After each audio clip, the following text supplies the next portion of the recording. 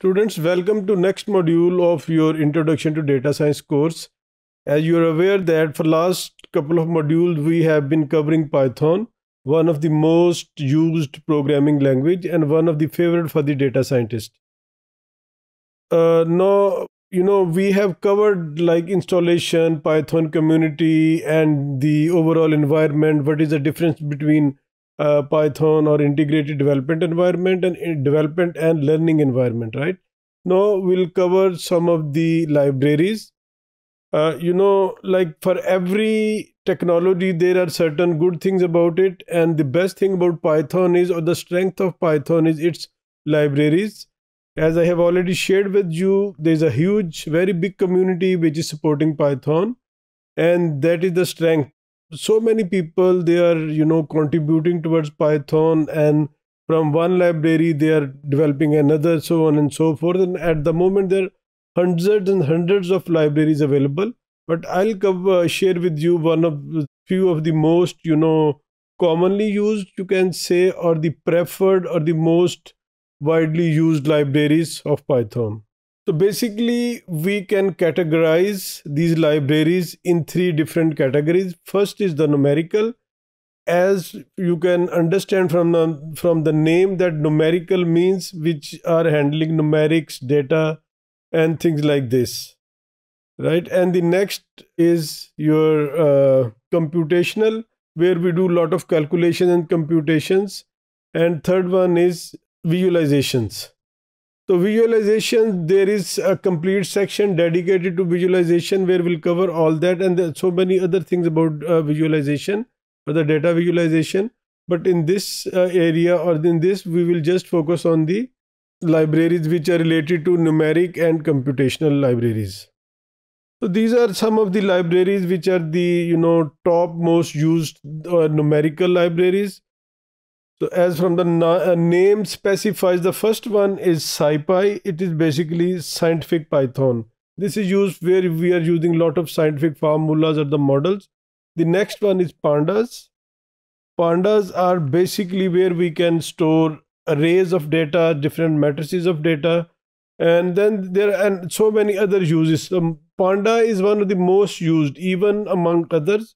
Where we are talking about SciPy, NumPy, and you know other libraries with pandas is something which you will mostly use.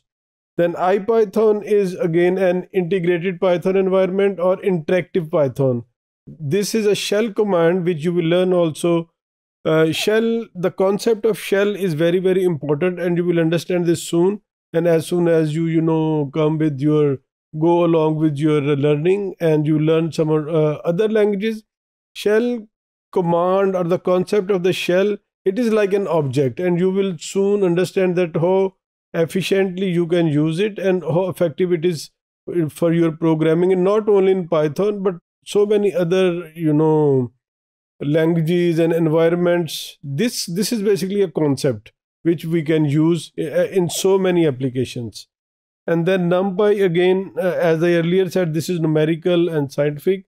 And then natural language processing toolkit this is a very, very powerful library as the name suggests natural language. It can be used for your text because when we are talking about data science, we have already discussed about structured data, unstructured data, and the text is unstructured data. And there are some other forms also of unstructured data, which is image processing and the how they are, you know, stored in the data. So this uh, toolkit is very very useful again in these areas and in certain circumstances where we have to do especially you know this uh, I, i'll talk about this when i talk about uh, you know especially we cover this a little bit about uh, this uh, library. Actually i will cover all these libraries one by one but on a very very high level. Then the computational libraries as I mentioned, these are for computation for your scientific or the statistical data modeling and things like this.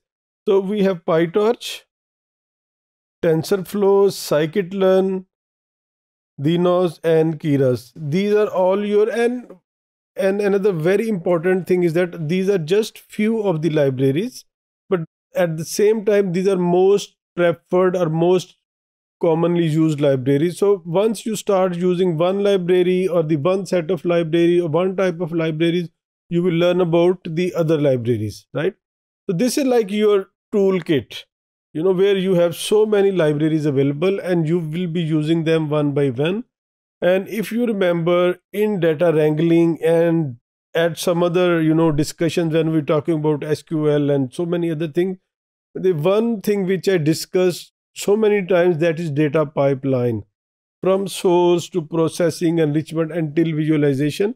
So you will once you understand uh, the whole concept of the data pipeline i'm sure up till now you have uh, developed a quite uh, you know good understanding about the data pipeline. So you can use different libraries at different locations of your data pipeline or different uh, stages of your data science process whatever way you look at it right? So this is how you can make use of different libraries.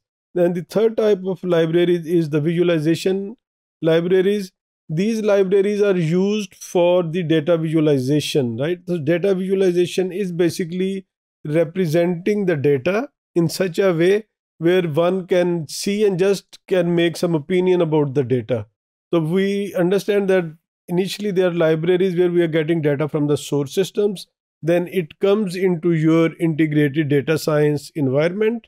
We do some processing. We apply different mechanism or different statistical models, uh, enrichment. You know, there are so many things which you will be doing during this process, like from the source till the data visualization. So data visualization, again, there is a very large number of libraries available. Some li libraries which are very, uh, we can say, just belong to Python, which will be used in, in Python or using Python language. And there are so many other languages which can be again used along with your Python libraries or Java or C++ or other programming languages.